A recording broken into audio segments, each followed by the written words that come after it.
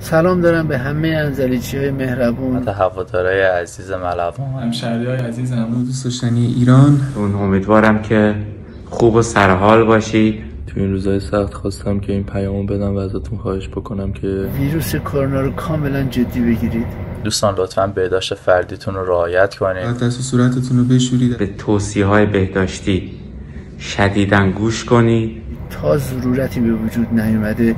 خونه هاتون خارج نشید. خدای نکرده. این ویروس گریبانگیر هیچ کدوممون نشه. و خواهش دیگه من این هست که از خیشان نزدیک بخواید که ایام نوروز رو به استان گیلان نیان که دور مسافرت خط قرمز بکشید. تا بتونیم. این ویروس شکست بدیم. و با شعار قوی باش انزلی من. قوی باش گیلان. قوی باش ایران. قوی باش ایران قوی باش گیلان.